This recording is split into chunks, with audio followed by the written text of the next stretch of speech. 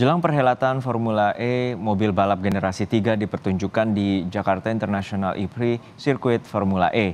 Akan berlaga di sirkuit sepanjang 2,3 km, mobil generasi 3 didesain lebih ringan, kecil, dan memiliki kecepatan yang lebih tinggi. Puncak kecepatan bisa mencapai 320 km per jam. Persiapan lintasan sudah 100% dan kini menanti persiapan fasilitas lainnya sebelum uji coba dilakukan pada awal Juni mendatang. Tiga hari menjelang ajang balap Formula E berlangsung, tiket sudah habis terjual dari kuota penjualan 80 ribu tiket.